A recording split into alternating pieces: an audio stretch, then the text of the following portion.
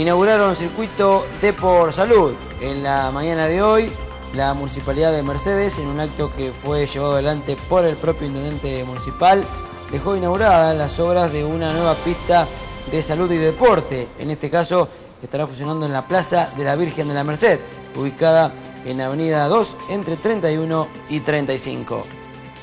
Le tengo que agradecer, agradecer que en estos 11 años venimos eh, de alguna manera brindándole posibilidades a la gente de Mercedes de tener un lugar de esparcimiento, un lugar de actividad física y tratar de que la ciudad cada día realice más actividad física y deporte.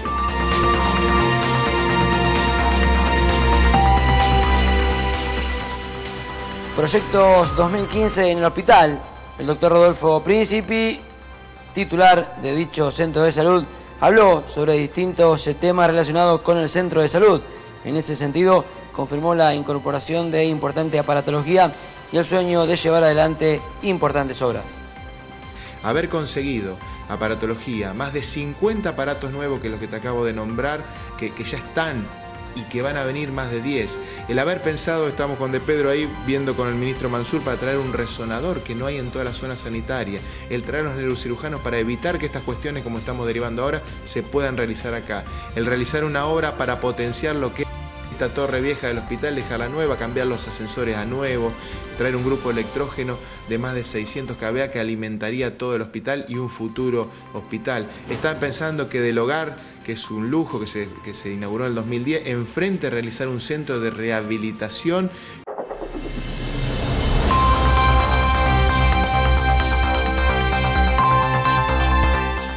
Cayó techo en el teatro.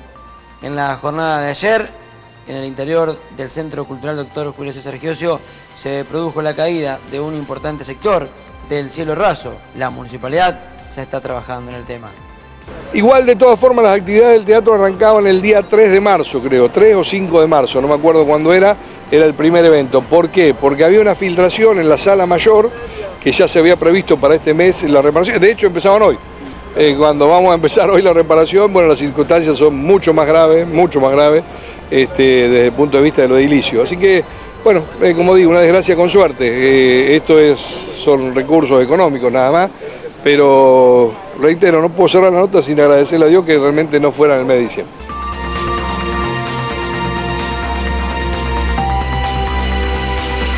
Crítica a la interna peronista. Oscar Albini, presidente del Comité de Distrito de la Unión Cívica Radical, se refirió a la situación que está sucediendo en el ámbito local en cuanto a la interna entre el Frente Mercedino y el oficialismo.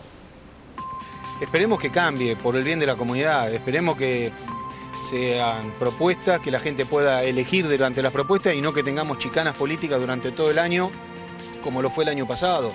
Lo vemos en el Consejo Deliberante, uno que desde afuera le toca ver, es un continuo pase de factura y los, los proyectos serios no avanzan y no se pueden tratar. Eh, entonces creo que eh, este año electoral hay que darle el ejemplo a la gente para que vaya a votar contenta y pueda elegir sobre propuestas y no sobre la interna de un mismo partido.